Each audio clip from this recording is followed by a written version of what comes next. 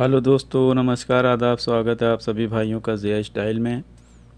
दोस्तों, आप सभी व्यूवर से सभी यूज़र से प्रार्थना है कि आज हम पतंग से हट के एक नए मौजू पे जो है रोशनी डालने हैं, जो आप सभी लोगों का सपोर्ट चाहिए। और इस पे कमेंट्स में ज़रूर आप लोग बताइएगा कि ये सही है कि गलत है।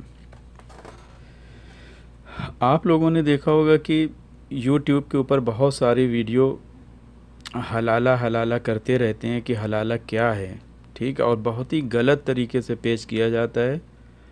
तो उस, अगर हलाले को जानना है तो सबसे पहले तो एक मुसलमान होना ज़रूरी है। अगर मुसलमान होगा तो वो कुरान भी पढ़ता है। और कुरान पढ़ता है तो कुरान के सारे चीज़ें जो भी चीज़ें समझाई गई है, उसको भी समझता है। हलाले को समझने के लिए बहुत सारी चीज़ों को समझना ज़रूरी है जो हलाले के साथ में जुड़ी हुई है। ठीक है, हलाले को जानने के लिए सबसे पहले नंबर पे आता है, इस्लाम के अंदर पर्दा है। ठीक है, इस्लाम के अंदर पर्दा है। अगर पर्दा कोई औरत बिना अपने शौहर की इजाज़त के पर, बेबर, बेपर्दगी करती है, यानी कोई पराया मर्द अगर आया है या कहीं वो गई है और पराए मर्द के सामने वो अपने आप को मेकअप में रख के और यानी जिस तरह से पर्दा करने के लिए कहा गया, वो सारी चीज़ें हटा देती है। ठीक है? कपड़े हटाने की बात नहीं है। मान लिया कि नकाब हटा दिया। बाल को भी छुपाने के लिए क्या बाल भी पूरे खुले? यानी जैसे एक अपने हस्बैंड के सामने होना चाहिए, इस्लाम के अंदर वो पराए मर्द के सामने हो जाती है। ठीक है? भले वो रिश्तेदार हो या कोई भी हो तो उसमें क्या होता है कि शैतान के लिए इस्लाम के अंदर कहा गया है कि शैतान तुम्हारा खुला हुआ दुश्मन है। यानी वो हर वक्त, हर समय वो बहकाता रहता है इंसान को अपने शौहर के अलावा। अगर कोई बीवी अपने शौहर के बिना कहे किसी शौहर किसी इंसान के या मर्द के सामने अगर इस तरह से बेपर्दा होगी तो उसके अंदर जब कोई औरत लिपस्टिक लगाए है पाउडर यानी पूरा मेकअप करे हुई है, यानी सज धज के किसी पराए मर्द के सामने अगर होती है बिना अपने हस्बैंड के इजाज़त के बगैर तो अक्सर करके ज़्यादातर, यानी सौ में नाइन्टी नाइन परसेंट लोगों का शैतान की तरफ़ से एक बहकाने वाला जो है माइंड हो जाता है। वो देख के उसके अंदर मन में ख्याल हो जाएगा, गलत सलत उल्टा सीधा सोच आ जाएगी, काश ये मेरी होती या ये जिसकी है उसकी सही नहीं है। ठीक है, ये बहुत सारी चीज़ें और बहुत से लोग हमारे जो लोग हैं, उनको इस बात का इल्म होगा कि ये चीज़ होती है। ठीक है? तो सबसे पहले आता है हलाले के पहले हमें पर्दगी का। अगर हम बेपर्दा किया है तो सामने वाला दिमाग से डिस्टर्ब होगा और वो गलत उसके अंदर ख्याल आएगा। ठीक है? तो मान लिया कि एक हस्बैंड अपनी वाइफ के साथ रहता है और ये चीज़ें उसके साथ हुई गैर पराए मर्द के सामने वो औरत बिना हस्बैंड के बजाय कहे, वो अपने से इस तरह से हुई है। अब वो आदमी के मन में एक गलत सलत ख्याल आ गया और वो जो उसके दिल में ख्याल आया, वो उस औरत को परपोज कर दिया। तो जब परपोज कर दिया, मान लिया कि उस औरत का हस्बैंड जो है, उसकी इतनी कमाई नहीं है या उसके घर में का माहौल अच्छा नहीं है, यानी घर में चूँकि जब एक औरत की शादी होती है तो वो अपना घर छोड़ के दूसरे के घर में जाती है, और उसके बाद में क्या होता है, जब दूसरे के घर में जाती है तो समझ लो एक वो नया घर होता है। उसको अपने आदमी के घर की तरह रहना पड़ेगा, ठीक है? ये नहीं कि जो है वो जैसे अपने घर में रहती थी उसी तरीके से यहाँ पे रहेगी। कोई औरत अपने माँ बाप के घर में रहती है तो उसका एक अलग हिसाब होता है, वो अपने हिसाब से रहती है, अपने बहन भाइयों के सामने माँ बाप के सामने, वो एक अलग मैटर, वो अपने घर में एक अलग तरह रहती है। जब शादी हो जाती है अपने हस्बैंड के घर में तो वो उसको अपने हस्बैंड के तरह से ही रहना पड़ेगा। जो औरत को अगर अपने हस्बैंड के घर का रवैया नहीं पसंद आता तो वही औरतें जब दूसरी जगह जाती हैं, किसी हस्बैंड के सामने होती हैं तो उनका मन जो है वो बहकने लगता है। और उस आदमी का भी मन बहकता है जिसके घर वो गई थी। भले वो अपनी सहेली के घर हो, उसके तो सहेली का हस्बैंड भी होता है या उसके भाई वगैरह होते हैं या जो भी है, यानी गैर मर्द यानी अपने शौहर के अलावा जो मर्द है, वो गैर मर्द है। तो इस तरह से ये उस औरत के मन भी, में भी गलत ख्याल आया, उस आदमी के भी मन में ख्याल आया। और ये गलती कहाँ पे हुई? इस्लाम के अंदर जो पर्दा कहा गया है, उसने बेपर्दगी कर दी। ये गलती सबसे पहली हुई। अब ये चीज़ें उस औरत के अंदर गलती बढ़ते बढ़ते यहाँ तक की हो गया कि वो गलत संबंध में पहुँच गए। ठीक है, जब गलत संबंध में पहुँच गए और धीरे धीरे उसके हस्बैंड की तरफ़ से उसका रवैया उस औरत का गलत होता गया और आदमी ने शादी की अपनी अपने घर के लिए, अपने लिए, यानी अपने माँ बाप के लिए खिदमत थोड़ी कर देगी। नहीं भी करती को मुश्किल नहीं है, लेकिन वो अपने हस्बैंड की तरफ़ से इस वजह से मन हटाती है कि उसके घर का रवैया ठीक नहीं है। और बहुत ज़्यादा इस तरह का परिवार ऐसा है जिसके घर में इस तरह के हालात होते हैं कि घर का हालात सही नहीं होता तो वो अलग रह भी नहीं सकता और अपने घर वालों को छोड़ भी नहीं सकता। तो इस तरह से वो औरत गलत रास्ते पे चली गई। ठीक है, फिर उस आदमी यानी उसके हस्बैंड और उसमें जब नहीं बन पाई, वो उस आदमी के पास चली गई जो तीसरा, दूसरा आदमी था जो गलत यानी तरह से उस औरत को नसीहत करके अपने जाल में फंसा लिया। तो ये पहुँची सबसे पहली चीज़, तलाक तक, यानी तलाक इसी तरीके से तलाक होती है। तो हलाले के लिए हमें ये पीछे का मौजू बहुत ज़रूरी है जानना। जो चीज़ अल्लाह ताला ने मना किया है, इस्लाम के अंदर हम और मज़हब की बात नहीं करते। इस्लाम के अंदर जिस चीज़ के लिए मना किया हम अगर वो करेंगे तो गलत उसके नतीजे निकलेंगे। तो ये औरत ने भी गलती की और उस आदमी ने भी गलती थी जो उस औरत के साथ में गलत रिलेशन रखा जिसने। तो हमेशा अक्सर करके होता है कि ये बहुत ज़्यादा तादाद में होता है जहाँ पे आदमी की कमाई नहीं होती या उसके घरों में हालात अच्छे नहीं होते तो ये तू तू मैं मैं कर कर के इस तरह से हालात हो जाते हैं। और इस्लाम के अंदर ही एक और बात है कि नसीब अल्लाह ने हर इंसान का अलग अलग बनाया है। तो इन बातों को अगर जो याद रखेगा तो ये हलाले तक पहुँचने की ज़रूरत ही नहीं पड़ेगी। ठीक है तो ये चीज़ को याद रखिए, एक एक जो है नसीब और एक बेपर्दगी और एक गलत आदमी के साथ जिस तरह से उसका बेपर्दा होना, इसकी वजह से ये नौबत पहुँची कहाँ? तलाक तलक। अब तलाक के भी मामलात हैं कि तलाक भी तीन तरह से होती है, तीन मतलब मरहले में होती है, एक बार देने के बाद में वो तीन महीना इद्दत में रहेगी, फिर तीन महीने के बाद, फिर इस तरह से नौ महीने के बाद में वो तलाक पूरी हो जाती है। और वो औरत, वो जिस आदमी के साथ वो गई थी हो सकता है कि वो उसके साथ रहे, ना रहे, वो उसकी अपनी मर्ज़ी है। ठीक है, और वो आदमी भी अलग हो गया। तो अब किसी सूरत से अपने आप को समझाते समझाते मान लिया कि वो औरत ने भी शादी कर ली किसी और से, और ये जो उसका हस्बैंड था, उसने भी शादी कर ली। ठीक है, जब शादी हो गई तो वो औरत जिस मर्द के साथ रह रही थी, उससे भी वहाँ नहीं बन पाई, और ये आदमी अपने घर में जिस औरत को ले के आया था, वो पहले वाली से भी ख़राब निकल गई। ठीक है? ये, वो पहले वाली से भी ख़राब निकल गई तो इसने, इसके मन में यही ख्याल आया कि यार हमारी तो पहले ही वाली बीवी अच्छी थी। इतना ज़्यादा तो नहीं करती थी, ये तो खुलेआम अपने घर में ही आदमी को ले आती है। ठीक है? तो इस बेस पे उसने ये वाली को भी तलाक दे दिया। अब वो जो पहले वाली जा, कैसे जायज़ होगी, उसने दूसरे से जो शादी कर ली है, वो अपनी ज़िंदगी बिता रही है। ये नहीं कि जो है फ़िक्स है। फ़िक्स हलाला नहीं होती। उस आदमी की जो पहली वाली बीवी जिस आदमी के साथ रह रही थी, उससे भी नहीं बनी, वहाँ से भी उसका तलाक हो गया, वो अपने घर में आके रह रही थी, ठीक है? और इस आदमी को पता भी नहीं है कि उस औरत का तलाक हो गया, वो अपने घर में आके रह रही है, और इसने जो दूसरी शादी की थी, उसको भी इसने छोड़ दिया। बाद में इसको ख्याल आया कि यार वो पहली वाली अच्छी थी। अब इसको किसी सूरत से ये पता चला कि वो पहले वाली जो औरत थी, उसका उसका किसी के साथ निकाह हुआ था।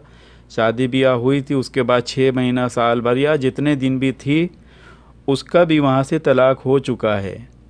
जब इसको पता चला कि वो औरत जो है, पहली वाली हमारी अच्छी थी, उस औरत को भी पता चला कि यार हम जिस घर पे गए थे, वो घर भी बहुत ख़राब था।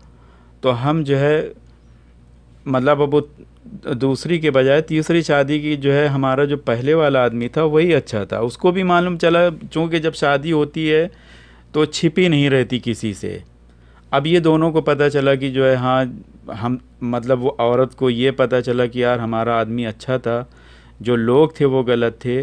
तो इस वजह से ये दोनों में अब निकाह हो सकता है लेकिन जैसे एक नई शादी किया जाता है उस तरीके से। ये नहीं कि पहली वाली जैसे नहीं, एक निकाह जो है होगा, लेकिन जैसे एक नया निकाह होता है, नई शादी होती उस तरीके इसको बोलते हैं हलाला।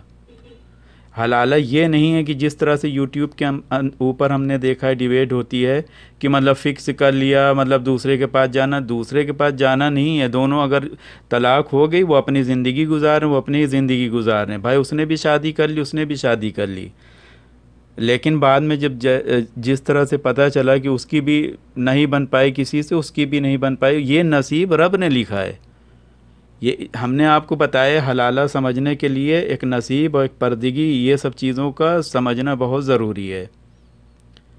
बहुत से लोग होते हैं, वो ये सब चीज़ें नहीं समझते, बस हलाला कराना ज़रूरी, हलाला कराना ज़रूरी। इसी बातों में हमने देखा है कि उसके ऊपर रट लगाए रहते हैं, और वो नहायत ही गलत है।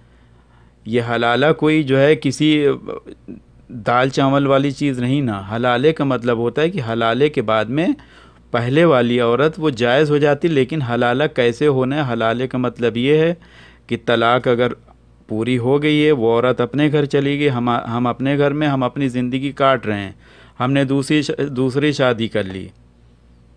और उसने भी दूसरी शादी कर ली, यानी हमें एक दूसरे से मतलब नहीं है। लेकिन जब दूसरी हमार, हमारी बीवी आई या दूसरी जो औरत थी, उसका दूसरा हस्बैंड मिला, वो और ज़्यादा बद से बदतर था। तो वो लोगों को मन में ख्याल आया कि यार हम लोगों का पहले ही वाला, चूँकि इंसान का नसीब हमने, आपने नहीं बनाया, ये अल्लाह पाक ने बनाया है, ईश्वर ने बनाया गॉड ने बनाया है। तो हर इंसान, आप देखें पीएम नहीं बन सकता। हर आदमी क्या कहते हैं पायलट नहीं बन सकता, हमारे हिंदुस्तान या पाकिस्तान या ऑल वर्ल्ड में कितने लोग हैं, हर आदमी अगर अमीर बन जाए तो वो एक दूसरे का कहने ही नहीं सुनेगा। तो हर चीज़ें एक तरीक़ा कार है। हमें एक चीज़ समझने के लिए हम एक ही चीज़ पे डिबेट नहीं कर सकते, हमें पूरी चीज़ को समझनी पड़ेगी। आपने देखा होगा, बहुत सारे यूट्यूब पे बैठे रहते हैं, हलाला हलाला हलाला करते रहते हैं। हलाला के, हलाले का मकसद यही है कि एक आदमी से अगर पटरी नहीं बनती, वो तलाक हो गई और बाद में उस औरत की भी शादी हो गई, उस आदमी की भी शादी होगी वो अपनी ज़िंदगी गुजार रहे हैं। ये फ़िक्स को जो है हलाला नहीं कहते, जो लोग कहते हैं कि फ़िक्स कर मतलब एक रात के लिए तुम कर लो, फिर ऐसे ये हराम है। ये सब जो है बिल्कुल नाजायज़ है। जो सही तरीका है, हलाले की नौबत क्यों पड़ती है? अल्लाह पाक ने उस आदमी और उस औरत दोनों को ये दिखाया कि तुम अगर गलती करोगे तो गलती में ये चीज़ की नौबत पड़ती है कि दूसरे आदमी के साथ दूसरी औरत को सोना पड़ता है और आदमी को दूसरी औरत के साथ शादी करके सोना पड़ता है। ये सब चीज़ें एक सज़ा के तौर पे है। हलाले का मतलब एक समझ लो ये सज़ा है। तो बाद में वो रब जो है फिर से जब उन लोगों में नहीं बनती, चूँकि नसीब अल्लाह ताला ने बनाया है, और अगर हमारे घर में तकलीफ़ है तो सिर्फ़ और सिर्फ़ सब्र है। अगर आप सब्र नहीं कर सकते तो आप दुनिया में ज़िंदगी नहीं काट सकते। हलाले को समझने के लिए हमें सबसे पहले समझना पड़ेगा कि इस्लाम के अंदर पर्दगी है, सब्र है और तलाक जब होती है तो तलाक क्यों होती है? उसकी सब वजह होती है। एक खाली खाल खाने के लिए नहीं होती, दाल चावल और नाश्ता सही नहीं बनाया तो तलाक कर दिया। इसी सब की वजह से जो हलाला है, वो एक सज़ा समझ लो है। कि उसकी बीवी किसी और के पास गई उससे शादी किया फिर रही तो सोचो दिल पे क्या बीतेगी। हलाला अगर मान लिया हम अपनी बीवी को किसी और को दे सकते हैं आज की ज़िंदगी में। कोई आदमी ये सोचता है तो वो उसकी तबीयत ख़राब हो जाएगी। तो हलाले का मतलब यही है कि इंसान जो सब्र नहीं करते उनको जो है ये नौबत आ, आ जाती है। कि वो अपने हस्बैंड से जुदा हो जाती हैं, फिर किसी और से शादी होती है, वहाँ रहती हैं, रात गुजारती हैं, जैसे रहती हैं, साल, दो साल नहीं रह पाए उनके साथ, फिर तलाक हो गई। फिर दूसरे के साथ शादी, उससे भी तलाक हो गई। तीसरे से बाद में पता चला कि यार, हमारा पहले वाला हस्बैंड अच्छा था। क्यों? कि अल्लाह ने उसका नसीब उसी गरीबी की तरह बनाया कि तुम्हें इसी हाल में सब्र करना पड़ेगा। यहाँ पे अहम चीज़ आई है सब्र। अल्लाह ने ये बताया कि तुम्हें सब्र करना पड़ेगा। अगर हम तुम्हें एक पैसे वाला बनाया है जब भी, और एक गरीब बनाया जब भी, और बीच वाला बनाया जब भी, अब इसमें एक चीज़ और ऐड करते हैं, आसानी किसमें होती है? अगर कोई अमीर है तो गरीब की मदद करे। लेकिन अमीर जो होते हैं, वो सोचते हैं, हबिस जो होती है ना, हबिस, इस्लाम के अंदर ये सब चीज़ नहीं अगर हमारे पास पैसा है तो हमें गरीब की मदद करनी चाहिए। ये ना कि हम जो है उसमें अपनी हबिस को मिटाने लगें। दस हज़ार है तो बीस में लग गया बीस है तो चालीस। अगर अल्लाह ने हमें ढेर सारा पैसा दिया ईश्वर ने ढेर दिया है तो हम जब गरीबों को सदका खैर खैरात ये सब करते रहेंगे तो उसको ये सब नौबत आएगी नहीं। ज़्यादातर होता है पैसे की तंगी की वजह से ही होता है इंसान के घरों में ये सब चीज़ें। तो आप लोग सभी भाइयों से निवे, निवेदन है कि हलाला क्या होता है इस बात को अच्छे से समझ लें। कि हलाला समझने के लिए हमें इस्लाम के अंदर पर्दगी, सब्र और तलाक़ क्यों होती है? उसके बाद में हलाला क्यों होता? हलाला एक सज़ा है। दोनों को, मियाँ बीवी दोनों को। अगर मियाँ की गलती है तो मियाँ के लिए सज़ा है। अगर औरत ने गलती की है तो औरत के लिए सज़ा है। कि उसको दूसरे आदमी के पास जाना पड़ा, वहाँ पे वो पहले वाले आदमी से भी ज़्यादा तंग थी। यानी उसको ज़्यादा मुश्किल थी। वो अपने आराम के लिए, तलाक लेके गई और उसको उससे भी ज़्यादा मुश्किल मिली। तो इसलिए अल्लाह ताला ने एक सज़ा दी है कि जाओ ठीक है, तुम अब दूसरी जगह, यानी तुमने सब्र नहीं किया। हो सकता है कि वो जो घर में मुश्किलात थी, वो सब्र करती तो वो सब, वो मुश्किलात दूर हो जाती। लेकिन वो सब्र नहीं किया तो उसको तलाक हुई और उस, वो जाके दूसरे बीवी आदमी से शादी किया। उसके बाद में फिर वहाँ से भी तलाक हो गया, फिर दूसरे से भी किया, तीसरे से भी किया नहीं जहाँ किया, उसको बाद में यही एहसास हुआ कि हमारा पहला ही हस्बैंड अच्छा था। और वो हस्बैंड ने भी शादी की, उसकी बीवी भी, उससे भी बद से बदतर निकली, उससे भी ख़राब निकल गई। कोई कोई अच्छी भी निकल जाती है तो ये दूसरी जो पहले वाली शादी, उससे करने की ज़रूरत भी नहीं पड़ती। तो ये हलाला, ये जो है ना, ये एक सज़ा है। ये कोई आदमी ये ना बोले, हलाला मतलब ऐसे फ़िक्स करके शादी कर लो। ये नहायत हराम है, झूठ है, गलत है। हलाले के लिए हमेशा हर चीज़ को समझने की पूरी ज़रूरत है। ये नहीं कि एक ही चीज़ पे डिबेट नहीं हो सकती। वो रॉन्ग है, गलत है, जो लोग इस तरह से बहस करते हैं। तो इसके लिए हम एक ये छोटी सी कोशिश की है दोस्तों। अगर आप लोगों के समझ में आया हो तो आप प्लीज़ लाइक कमेंट शेयर ज़रूर कीजिएगा। और हमने जानबूझ के ये अपने मैटर से हट के ये वीडियो बनाई है। उम्मीद है कि आप सभी भाइयों को हमारी कुछ बातें समझ में आई होगी और ये और भी लंबी वीडियो हो सकती है। अगर आप लोग कहेंगे तो हम इस पर और भी लंबी वीडियो बना के आप लोगों को समझाने की कोशिश करेंगे। ये तो हमने एक छोटी सी मिसाल दी है कि एक नसीब, एक सब्र और एक तलाक, ये सब चीज़ें मिक्स होने के बाद में जाके ये जो है हलाले वाली नौबत तक पहुँचता है इंसान। तो ये हलाला एक सज़ा है। ये याद रखिएगा। उम्मीद है कि हमारे सभी व्यूवर्स को और सभी भाइयों को ये बातें समझ में आई होगी।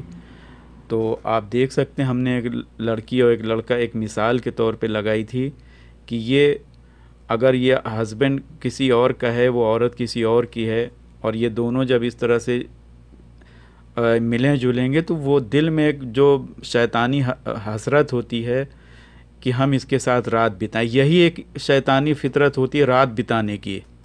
कोई आदमी उसको रुपया देने ये इस तरह से नहीं करता, किसी गैर औरत से मिलने का मकसद है कि उसके साथ रात बिताना। तो ये सब चीज़ें नहायत गलत है। कोई आदमी अपनी बीवी को किसी को नहीं कहेगा कि, भाई, तुम जाओ, इस तरह से ऐसे ऐसे कर लो। वो मजबूर, बहुत मजबूर हो जाता है। या तो दबंग लोग उसको दबा देते हैं, या तो जो बड़े लोग होते हैं, जो ताकतवर होते हैं ख़राब लोग, यानी अच्छे लोगों की हम बात नहीं करें, जो ख़राब लोग होते हैं, जिनको हैबिट होती है गलत काम करने की, वही लोग गलत चीज़ को बढ़ावा भी देते हैं। जो सही चीज़ है, उसको वही लोग तोड़ तोड़ मरोड़ के पेश करते हैं कि आपके मन में गलत बैठ जाए। लेकिन याद रखिए भाइयों, ये एक हलाला, एक सज़ा है। हमेशा याद रखिएगा।